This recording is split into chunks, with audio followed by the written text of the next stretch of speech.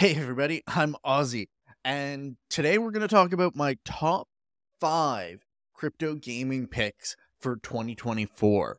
Now, if you're new to the channel, I'm Ozzy. I'm just a regular investor trying to help everybody kill it in this crypto bull run. I hope you enjoy today's video. I actually recorded two other videos, but I haven't had time to edit them, so you guys are getting this one early. Now, that being said, if you like this kind of content, drop a like, a subscribe, a share. It really makes a whole world of difference. And let's dive in. Couple of disclaimers. I hold some of the tokens that I'm talking about. I don't hold all of them. Actually, I don't hold most of them. Haven't had time to add them. Most of them I'm planning to add to my portfolio. Another disclaimer this top five is actually going to be based off of my portfolio model. So if you haven't watched my portfolio, how to build your crypto portfolio video, I suggest going watching that. It's linked in the cards above. And if you are new to the crypto space, limit the number of tokens you're getting into. It's really hard to keep track of them all. So, those are my few words of caution. Now, to start with my large caps, there's a few pretty obvious large caps to pick from. In my opinion, my choice would be Immutable X. I do hold Immutable X. They're up about 5%, 5.6% in the last seven days, and they have a market cap of 4.7 billion.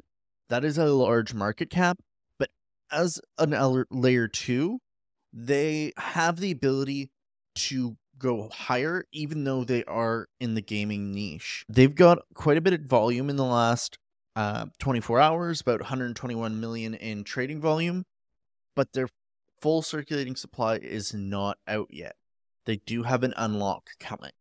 So that's always a word of caution.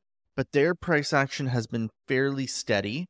If we look at the over the last month, they're up about 50%. And if you look up over the last year, they're up about 200%. That would be my main pick. Alternatively, if you were wanting a large cap, but maybe a little bit further down the scale, my two picks would either be Beam, which is another infrastructure token, and they're at a $2 billion market cap with a full circulating supply. They're up about 13 or 14% this week, and they've got about 60 million in trading volume in the last 24 hours. Their price action is pretty nice, and they were formerly the merit token, you'll know that a lot of people are talking about them. If you look at the last month, they're up about 115%. So they're up quite a bit, and they're up 714% on the year. So quite a bit bigger gainer, which is why it's not my first pick, but is a new token. And sometimes you want to bet on the horses that are already winning. My last alternative is a token that a lot of people, if they were around for the last bull market, would know Gala Games. They are about 1.275 billion market cap and they've had they're up about 10% this week. I also think Gala is a pretty interesting option, but being a token from the last cycle, I feel like I've potentially got more opportunities with IMX. That being said, you can choose either of the other alternatives as a large cap for your portfolio. Now, moving down to my mid cap. In this case, I was considering anything below a billion dollar valuation as my mid cap. In this case, I ended up choosing Superverse or Super that is Elio Trades and Alex Becker's token. It's up about 16 and a quarter percent in the last seven days. And it's got a $740 million market cap. Not a lot of its supply isn't out, but the unlocks are quite a ways out. So keep that in mind. It I chose it. It's an infrastructure token. It's got the influencer kind of piece and there's still quite a bit of room to run on it. In the last month, it's up about 139%, and it's up 1100% in the last year. So, up quite a bit this year, but I think that there's still some room for it to run. Maybe join Beam up around the 2 billion market cap. Alternatively, Prime is one that I know a lot of people have been watching, and it's got a $423 million market cap, but a really low circulating supply. Good price action.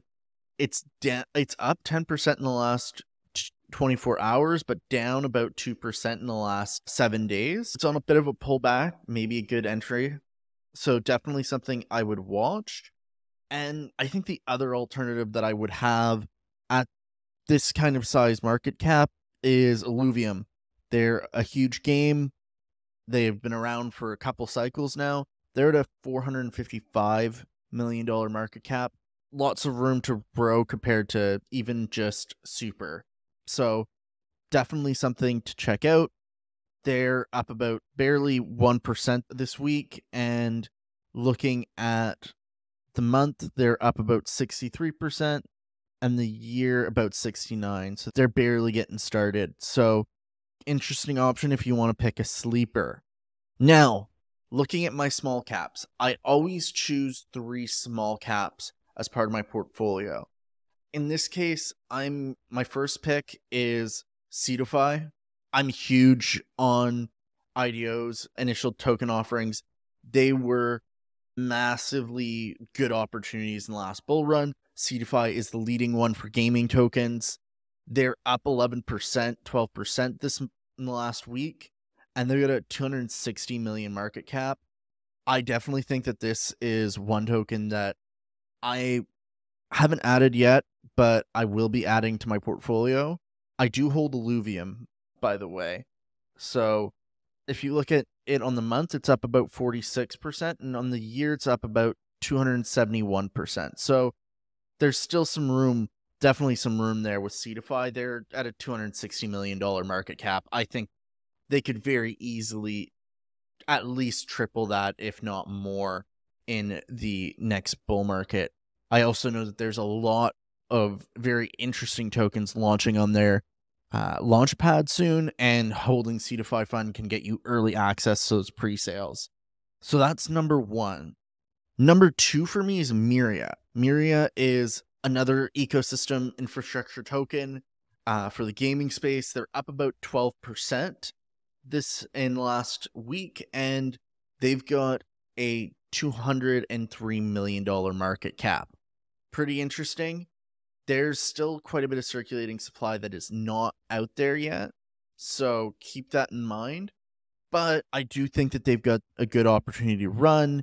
Being in the infrastructure space, they can go higher than a singular game. Looking at the month, they're up about 69.5%, and the year, they're only up 46.5%. So compared to some of our other options, feels like a strong pick. Now, looking quite a bit further down the list, and this one is my kind of lowest cap that I've got on the list. It's Shrapnel. If you've been watching the 100x podcast or are in that kind of circle, Shrapnel, huge pick. There, it's up 22% in the last 24 hours, 36% in the last week. It's got an $87.5 million market cap they're doing a whole bunch of play tests and their their circulating supply is pretty low. It's only 8%. But if you look at the last year, they're up about 255%. I really think that this could be a opportune play. Uh, their game looks really good and it general it really feels like this could go somewhere. So Shrap was my number 3 pick. If I were looking at alternatives, Cornucopia, Copy, they're up about 26% in the last week, $70 million market cap. They started, they came out late in the last bull run. Definitely interesting. WAGMI Games, they're $53 million market cap. They're up about 25% in the last week. Definitely something that I've heard a lot of people talk about. They're in the mobile gaming space and their studio. So I definitely like that as a pick. And their circulating supply is much closer to their uh, actual supply compared to most games. And this is my dark horse, and it's quite small, but playable games. Three three L. It's a twenty two million dollar market cap, and about down eight percent in the last twenty uh, days. So down a little bit, but I've heard some pretty great things there. Play on AVAX, so Shrapnel. So those are my picks.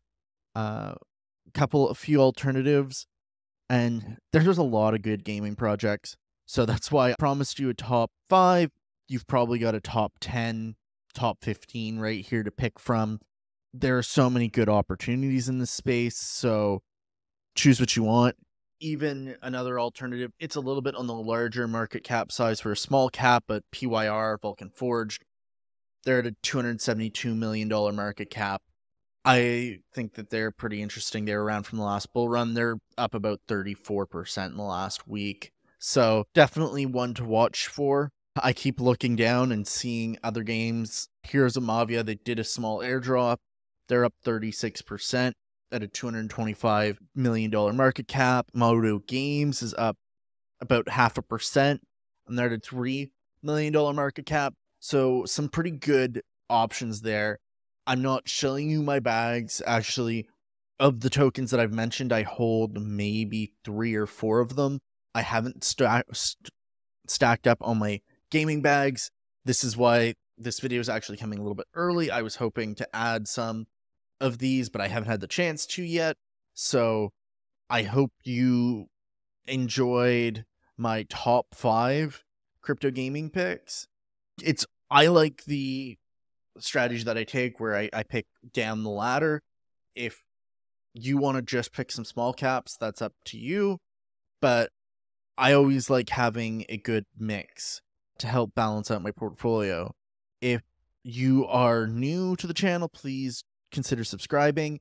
Let me know what crypto gaming tokens I haven't talked about that you think are really bullish for this cycle. Or maybe IDOs, any games that are launching that I should be paying attention to let me know in the comments below, and I'll see you next time.